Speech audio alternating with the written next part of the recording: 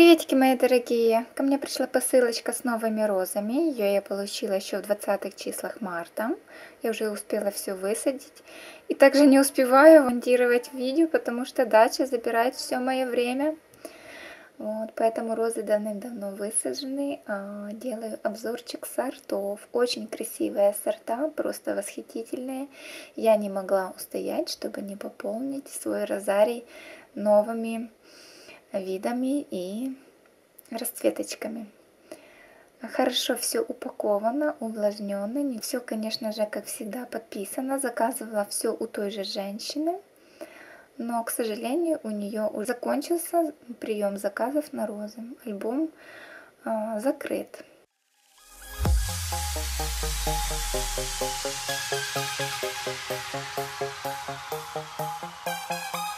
Мне упаковали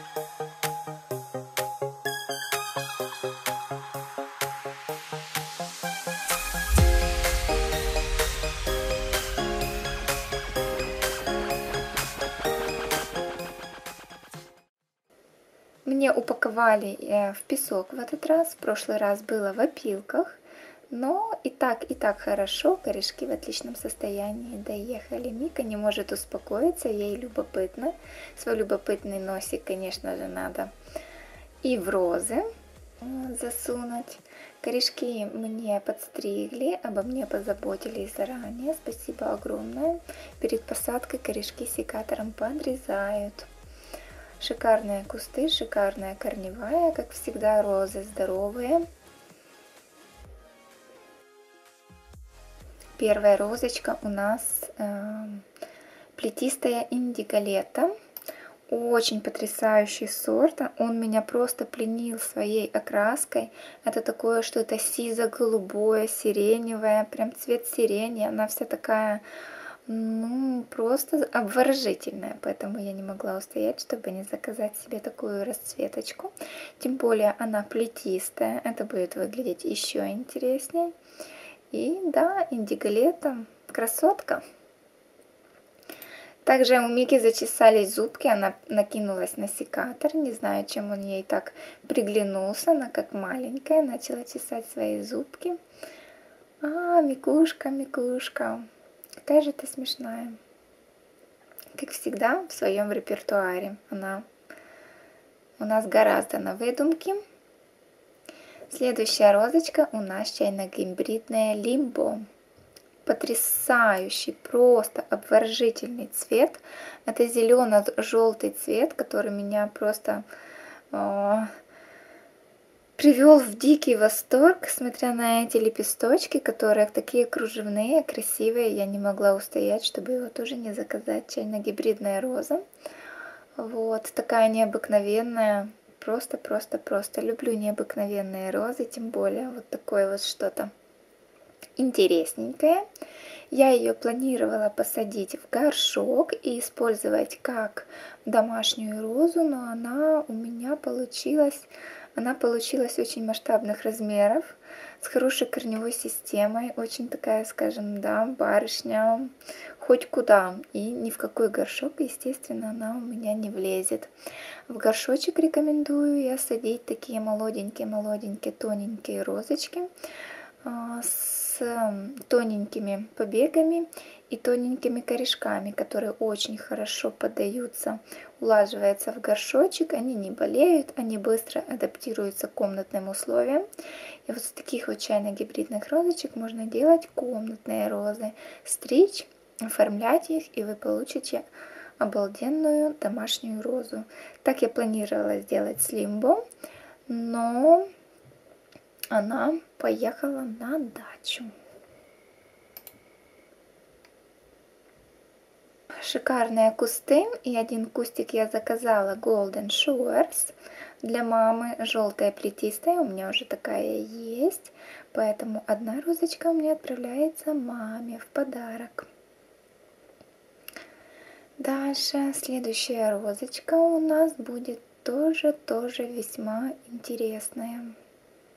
Все подписано. Так, смотрим. Парковая. Августина Луиза. И это просто невероятно красоты роза, которая пленила меня своей окраской, которая переливается. Каждый лепесток имеет в себе множество оттенков, и она такая вот вся солнечная, приятная, ну, просто невероятно нежная. И, конечно, на парковые розы я только в этом году обратила внимание.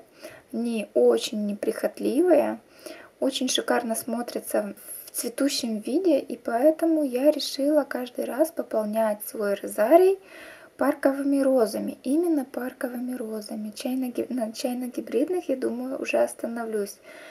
Хотя при наших условиях, таких суровых и нестабильных, да, на моем участке и ветра, и сквозняки, и были сильные морозы, которые свойственны на Украине, но чайно-гибридные розы у меня очень-очень хорошо пережили эту зиму. Вот. И, конечно же, потом я когда-нибудь сделаю видео, как я сохраняю, укрываю свои розы на зиму. Поэтому чайные гибридные розы, те, которые есть, остаются. А, парковые розы меня просто пленили. Поэтому парковые розы, они очень устойчивые и к заболеваниям, и к холодам. Они неприхотливые и имеют до того шикарный вид. Это просто невероятно. Да, Августина Луиза. Такая шикарная розочка. Я не попала на дачу, распаковочка была дома. Уже на следующий день я их все посадила. Корешки у меня были хорошо замотаны, не обветрились, не засохли. Поэтому вот такой был обзор роз. Я очень-очень довольна заказом, как всегда. И да, смотрите дальше, как я буду садить свои розы. Вырыли глубокую яму, чтобы заполнить ее питательными э, веществами. Это уголь, мох, который будет удерживать влагу, торф и, конечно же, удобрения. Все тщательно перемешиваем. Садим розу. Э, прививку я держу над уровнем земли, я ее не заглубляю.